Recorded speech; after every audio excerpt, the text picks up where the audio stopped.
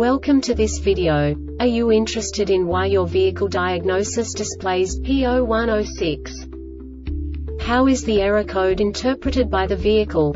What does P0106 mean, or how to correct this fault? Today we will find answers to these questions together. Let's do this. First, let's look at the history of diagnostic fault code composition according to the OBD2 protocol, which is unified for all automakers since 2000.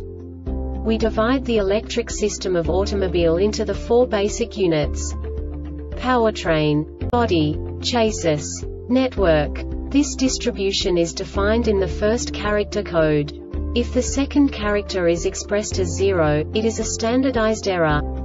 In the case of numbers 1, 2, 3 it is a more prestigious expression of the car-specific error. The third character specifies a subset of errors.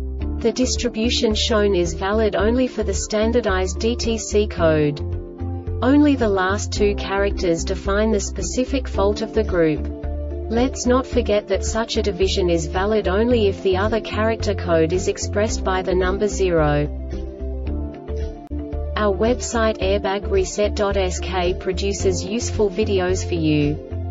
You do not have to go through the OBD2 protocol anymore to know how to troubleshoot any car breakdown. You will find all the diagnostic codes that can be diagnosed in a Hyundai vehicles. Also many other useful things.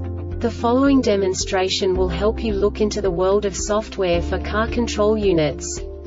You unbelievably can move the video a bit further. The error code is split into two bytes consisting of 16 bits.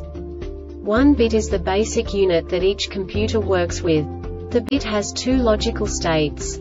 0, low level, 1, high level. By combining the first two bits, the basic character of the error code is expressed. The next two bits again determine the second character. The last beat styles of the first byte define the third character of the code. The second byte is composed of a combination of 8 bits. The first 4 bits determine the fourth character of the code. And the combination of the last 4 bits defines the fifth character. A single byte conceals 256 possible combinations. We now know in what way the diagnostic tool translates the received information into a more comprehensible format. The number itself does not make sense to us if we cannot assign information about it to what it actually expresses. So, what does the diagnostic trouble code P0106 interpret specifically Hyundai car manufacturers? The basic definition is HECU fault. And now this is a short description of this DTC code. Enable conditions Case 1 The test actuates all valves in series to detect shorts or shunts between the valve lines. Faults are detected if there is an error during the test. Case 2 The drift test is executed only once during an ignition cycle. If it detects partly shorted valve coils, almost inoperative coils or malfunction of the valve driver, a failure is recognized.